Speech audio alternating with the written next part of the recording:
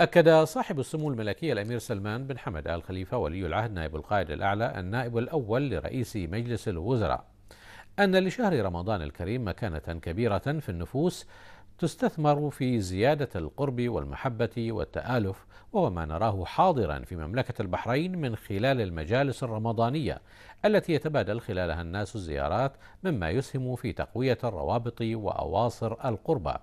مشيدا سموه بما يتمتع به المجتمع البحريني من سمات التآخي والود التي عرف بها وهو ما يلزم ترسيخها في كل الظروف والأوقات.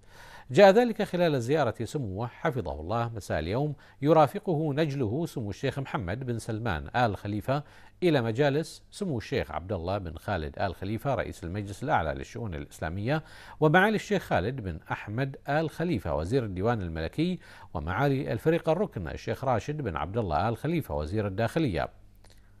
في مستهل زيارات سموه للمجالس الرمضانية حيث تبادل سموه التهاني والتبريكات بمناسبة حلول شهر رمضان المبارك. داعيا المولى العلي القدير أن يعيده أعواما عديدة وأزمنة مديدة والبحرين واحة للأمن وأبناؤها رمزا للمحبة والسلام على الدوام. منوها سموه بدور المجالس البحرينية في تعزيز قيم المجتمع المتوارثة والتي تؤكد على التواصل باعتباره إحدى العادات التي كرسها الآباء والأجداد ونسير اليوم على نهجهم وخطاهم.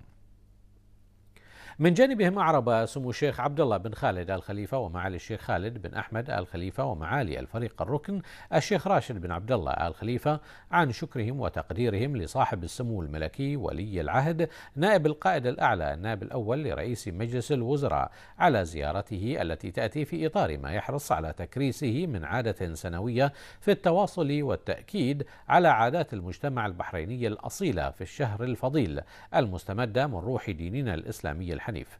داعين الله أن يحفظ البحرين وأهلها في ظل قيادتها الحكيمة.